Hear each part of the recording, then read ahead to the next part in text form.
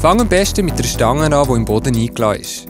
Durch das kannst du Stürze besser kontrollieren und du reduzierst die Verletzungsgefahr.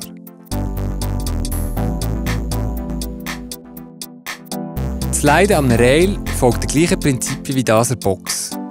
Das Balancieren ist aber durch die geringe Kontaktfläche der Ski mit dem Rail schwieriger. Das Rail verzeiht keine Fehler. Wegen dem ist es ganz wichtig, dass du Gorilla-Position auf dem Rail und bei der Landung einnimmst und deine Ski im 90-Grad-Winkel zur Stange gedreht hast.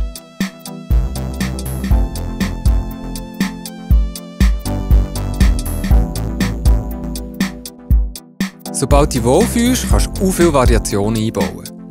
Es gibt keine Einschränkungen oder Vorgaben. Lass deine Kreativität freien Lauf. Das ist das A und O beim Freestyle.